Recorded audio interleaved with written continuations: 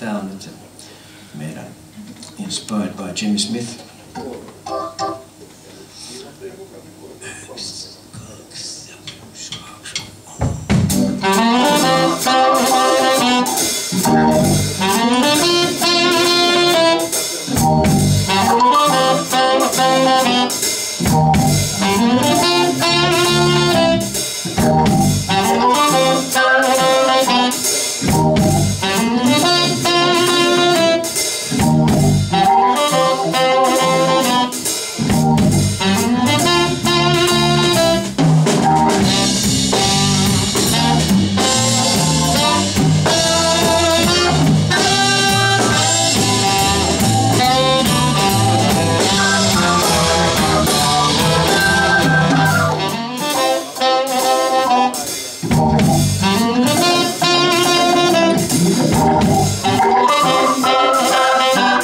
Thank.